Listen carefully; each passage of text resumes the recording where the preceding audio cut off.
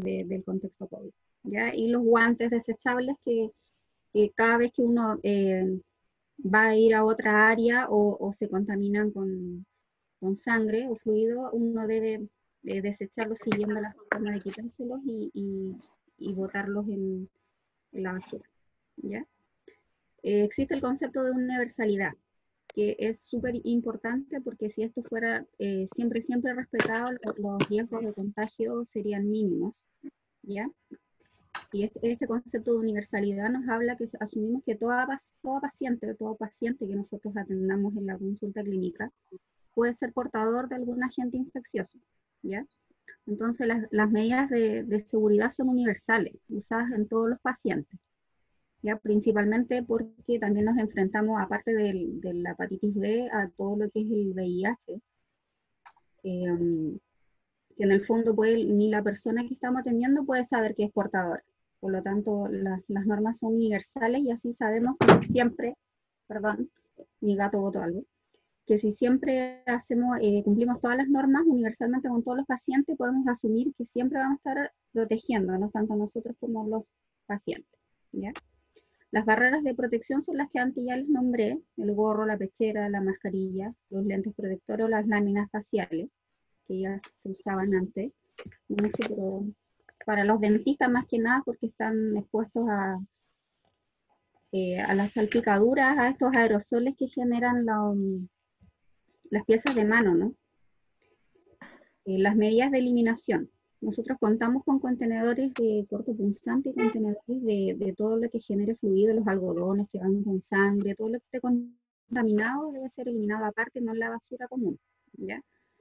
Eso como protección de las personas que manipulan la basura y como protección de, mm, del medio ambiente. Después una empresa retira todo lo que son estos, estos contenedores que están almacenados en la sala REAS y esa empresa se preocupa de acuerdo a las normativas y eliminarlos de la forma correcta. Em, parte del autocuidado es, saber em, tener todas las precauciones cuando manipulamos los cortopunzantes. Nosotros manipulamos las carpul que están cargadas con aguja y tenemos que eh, quitar esa aguja eh, antes de desechar la, carpul y tenemos que hacerlo con otro elemento, con un alicate, ojalá, y tratar de manipular lo menos posible y tener mucho autocuidado ahí, porque cuando nosotros nos hacemos alguna herida, nos cortamos, después todo eso requiere de todo un protocolo de seguimiento para descartar que nos hayamos contagiado de algo.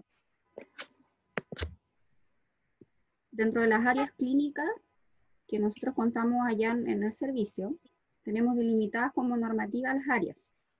Ya está la área administrativa, que es donde eh, tenemos todo lo que es ficha, anotamos, hacemos los presupuestos, eh, está el teléfono también, eh, todo, lo que es de, de, papel está ahí.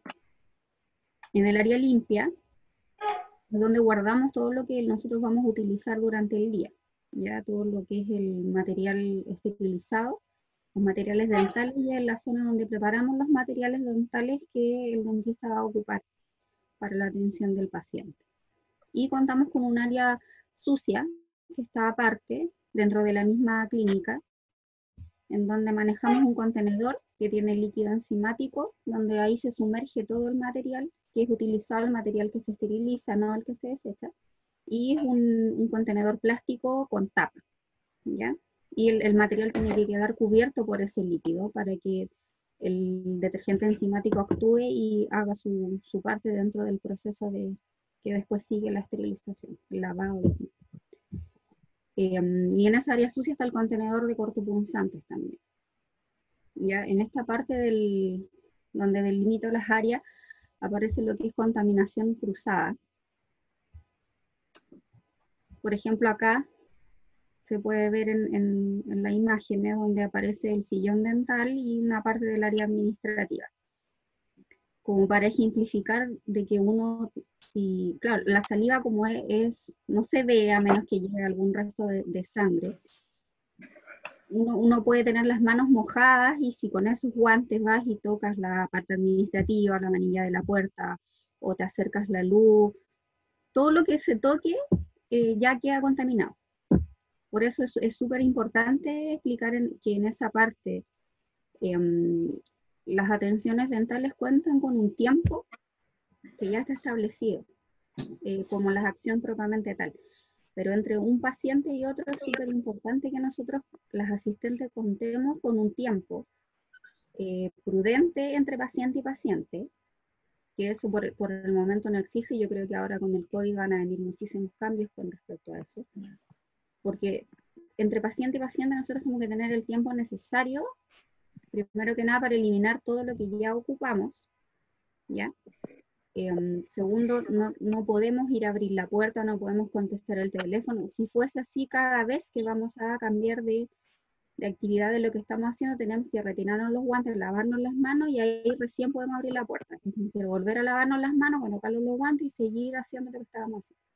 Entonces, entre paciente y paciente, necesitamos un tiempo prudente establecido para poder cumplir con todas las normas que se nos piden. De lo contrario, es muy difícil poder cumplirlas porque necesitamos desinfectar, como aparece ahí en la imagen, todo lo que haya podido en el sillón dental haber sido tomado donde pueda quedar ahí algo de, de rastro de los microorganismos que pueden traer infecciones consigo. ¿Ya? Y dentro de esa normativa, para que ustedes que son compañeros, pero también son pacientes, eh, nosotros tratamos de, cumplir a cabalidad todo dentro del área dental. Tenemos nuestras áreas delimitadas y se desinfecta con DAN, que es una desinfección de alto nivel, con el alcohol. Todas esas partes, las manillas, eh, la superficie, al empezar en la mañana, uno tiene que hacer una desinfección de las superficies lisas, sí o sí, antes de, empezar el día, antes de bajar eh, el equipamiento de, instrumental, y entre paciente y paciente se debiera realizar siempre una desinfección de todo lo que pueda haber eh, sido tocado o incluso, como mucho se está hablando ahora con lo del COVID, eh, con las turbinas y, las piezas de mano se generan unos aerosoles que queramos o no, no los vemos, pero igual llegan a diferentes partes de, de, la infraestructura de la clínica. Por lo tanto, ahora, como les va a explicar después Alexandra, la, hay normativas que se han integrado por lo del COVID, pero yo creo que se van a establecer por un tiempo prolongado en lo que es odontología. Para la odontología, lo del COVID ha sido devastador en cierto punto, porque son muchos los cambios, porque la atención conlleva ese, ese spray con, con las esporas contaminadas, de lo que tanto no, le tenemos miedo y de lo que no tenemos que proteger, nosotros en la parte odontológica estamos expuestos a eso siempre. Y, más que nada ahí el dentista. Los dentistas tienen ahí un, un, riesgo gigante porque trabajan directo a la cara de los pacientes, por lo tanto las normas de bioseguridad y los EPP para los dentistas y las asistentes que trabajemos con ellos van a pasar a ser una parte fundamental dentro de la atención. ¿Ya? Ahora eh, Alexandra les va a hablar de, Ahí hay una imagen de, lo que son las EPP que, usábamos antes, aparece la bata, el gorro, todo desechable, ¿cierto? Quizás antes se, estaba usando mucho usar eh, gorros de género, estampados, y ahora eso ya, adiós. Vamos a tener que usar eh, desechable. Ahí viene lo de bioseguridad en tiempos de COVID. Ya. Muchas gracias, Muriel. Yo soy Alexandra Luna, técnico dental del Centro de Salud de los USACH. Ahora vamos a ver la bioseguridad en tiempos de COVID. Eh, veremos en esta parte de la presentación las precauciones que se deben tomar en la atención odontológica, que son las precauciones estándar y las precauciones, eh, las EPP, que son el equipo de protección personal. ¿ya? Debemos siempre adherirnos a las precauciones estándar. Las precauciones estándar es lo, es lo mínimo a, lo, mínimo, a lo que, la mínima práctica que, que, se debemos, que debemos llevar a cabo para prevenir infecciones.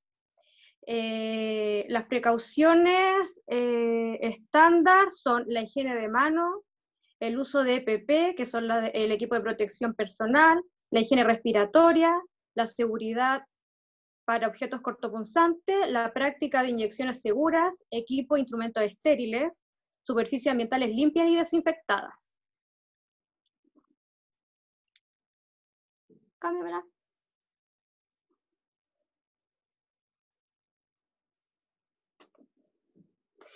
Eh, se deben implementar en las precauciones de contacto o se pueden incluir como la ubicación del paciente, la ventilación adecuada del espacio, en este caso en, en la ventilación adecuada del box dental, la protección respiratoria, que se refiere a la mascarilla N95, y posponer los tratamientos electivos, sí o sí. Eh, el uso de mascarilla quirúrgica y de protección ocular es súper importante eh, al momento de que, que, se haga un procedimiento que genere salpicaduras de sangre o fluidos corporales. Así podemos proteger eh, la mucosa de los ojos, la nariz y la boca. Cámbiame la La mascarilla es de uso personal y es una mascarilla por paciente, o sea, eso es sí o sí, tiene que ser bajo esa, como esa, ese reglamento. Si nosotros vemos que la mascarilla está dañada, manchada o se nos dificulta la respiración a través de la mascarilla, debemos remover la mascarilla y eliminarla de forma segura y reemplazarla al tiro por una nueva. También nos debemos adherir a los protocolos para ponernos el, el EPP y quitarnos el EPP, que son los guantes, la mascarilla, el protector facial, el gorro y el delantal que tiene que ser de, de manga larga, en este caso. Debido a que el COVID-19 puede ser vulnerable a la oxidación, se le puede pedir al paciente que se enjuague con peróxido de, hidrógeno al 1% o povidona al 2% como un enjuague preoperatorio aunque no hay estudios clínicos que, que, digan que, que estos enjuagues pueden atacar al COVID-19, pero no está de más hacerlo como precaución. En cuanto a las radiografías dentales, eh, la técnica tiene que ser eh, las radiografías extraorales como las panorámicas y no las radiografías intraorales, que son las que se mete la película dentro de la boca, porque esta radiografía, al introducirla dentro dentro de la boca, pueden producir eh, secreción de salival y que el paciente tosa. Entonces, donde estamos con el tema del COVID-19 y la, el contagio es por gotitas, lo ideal es que sean eh, radiografías extraorales. Reducir la, la, la, producción de aerosol lo más, lo más posible, ya que la transmisión del COVID, como decía yo, es a través de, de gotitas. Entonces, como en este momento de COVID, debemos preferir instrumentación manual. Usar goma dique en procedimientos que generen aerosol. La goma dique es la gomita verde que se ocupa para los, para los tratamientos de endodoncia. ¿ya? Las piezas de manos con sistema antirretorno, ya que estas pueden proveer protección adicional a la, contaminación cruzada. Y preferir el uso de evacuadores de, alto volumen. En este caso, nosotros ocupamos generalmente bueno, siempre el eyector, que es la manguerita que se pone para sacar la saliva y cualquier secreción. El tema es que el eyector puede provocar reflujo, como lo dije también con el tema de las películas dentales para tomar la radiografía, y esto puede hacer que el paciente eh, le, dé reflujo y le dé tos, empieza a salivar más, entonces esta es una potencial, una potencial fuente de contaminación cruzada. El otro punto es que la sutura sea de esas, de, reabsorbibles. ¿Por qué? Porque al, usar sutura reabsorbible no tenemos que citar al, paciente a un control, entonces no se, no se va a ver expuesto a tener que salir nuevamente y nosotros como equipo dental, tanto el dentista como el asistente en este caso que estoy hablando yo, no, no nos vemos tan expuestos a tener que ver más cantidad de pacientes, sino que sea como lo puntual. También minimizar el uso de jeringa triple, ya que este puede crear gotas debido a la expulsión de aire forzada, porque la jeringa triple cuando uno la aprieta, claro, el aire es, con mucha presión, entonces esto puede generar el tema de las gotitas. Y en cuanto a los desinfectantes para mm. la pieza de mar y la jeringa triple, está el hipoclorito y el etanol, que esto han sido reportados que reducen la contaminación viral en salpicaduras, pero no está comprobado eh, si es que eh, eh, reduce el tema de la contaminación en el COVID-19. Esa, esa, información todavía es desconocida. Yo creo que donde estamos con el tema ahora latentes de COVID-19, van saliendo cosas nuevas cada día, nos vamos como, entre comillas, no perfeccionando, pero vamos como puliendo ciertas cosas y dándonos cuenta de que tenemos que ocupar diferentes tipos de, desinfectantes y, y cosas para atender a los pacientes. Lo otro es que el tema de los protocolos y cumplirlo al pie de la raya, yo encuentro que es súper importante. Como que generalmente eh, uno de repente, no sé, no se pone el gorro, pero o la mascarilla o cualquier, o de repente uno tiene ciertas faltas, pero con todo lo que está pasando a nivel mundial con la pandemia, es súper importante adherirse a los protocolos y eh, ocupar los equipos de protección personal al pie de la letra. Y esta sería nuestra presentación con la Muriel. Ahí les dejamos las referencias bibliográficas y los enlaces de contacto, que son las redes sociales, el mail y eh, los teléfonos. Cualquier